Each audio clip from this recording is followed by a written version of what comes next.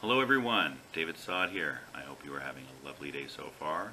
Thank you for taking the time joining me while I show you this absolutely stunning Bolivian amethyst. The gem weighs in at 31 carats on the nose and uh, it's really something to look at. If you see, I mean you can see the, the, the depth of the color on this. It's absolutely gorgeous. Uh, you have that um, really wonderful, very slight blue undertone under the purple. Um, and it's, it's absolutely just magnificent. And uh, then you also get to have, and let me get this in focus. There we go.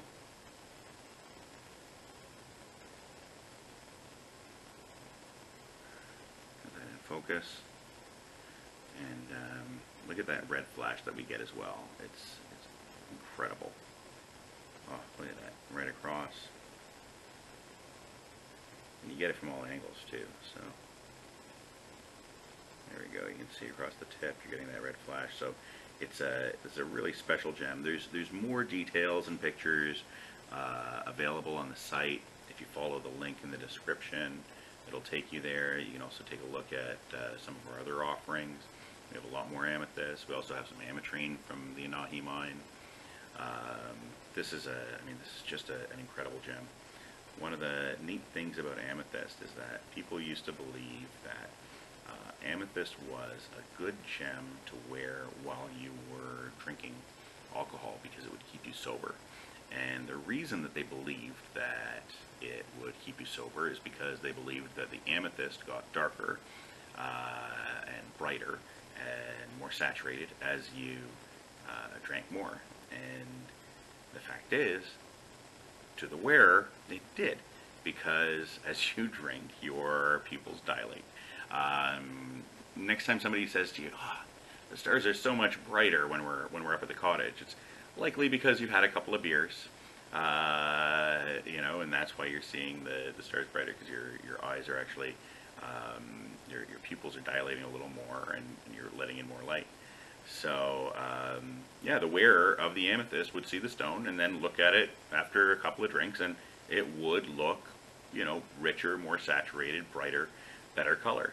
Um, so, I mean, I guess that's what led people to believe that it was getting darker. And I guess that, uh, you know, that's, that's, uh, it just kind of kept going. I, Mean, I guess there weren't too many teetotalers who uh, who weren't drinking and saying, actually, no, no, that's not getting darker. you know, because everybody, if everybody around is also having a couple of drinks, they're going to say, hey, yeah, your amethyst did get uh, get a little brighter and did get a little bit more color to it. So anyway, that's that's kind of that. So um, that's where the the myth. That's you know that's how it was born.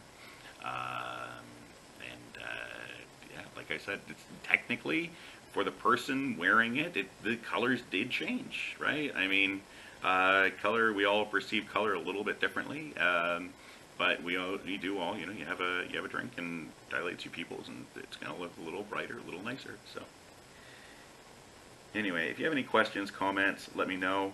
Uh, if you're looking to have a piece of jewelry made with this uh, and you have an idea of what you want to do, let me know. It's a stunning stone.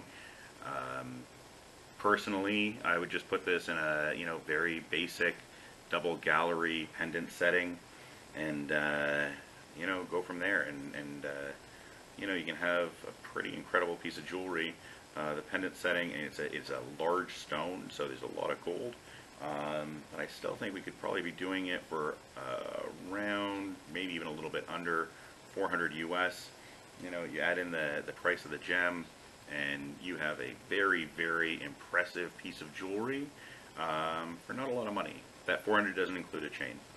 So just note, note that. It's important. Um, because the chain alone can be 100 bucks very easily. I mean, the chain alone can be $500 easily, uh, depending on what we want to do. So, um, you know, like I said, about 400 US and, uh, you know, simple double gallery setting with a, with a bail on the top, either, you know, I'd, I'd even just make it a, a, single piece, you know, that saves a bit of money as well. And uh, yeah, just it's a really incredible, incredible gem, and it's going to make an incredible piece of jewelry. So thank you so much for taking the time. Those of you who are still here with me, thank you for, you know, uh, staying through the whole video. I appreciate it. And uh, have you have a great day. Thanks. Bye.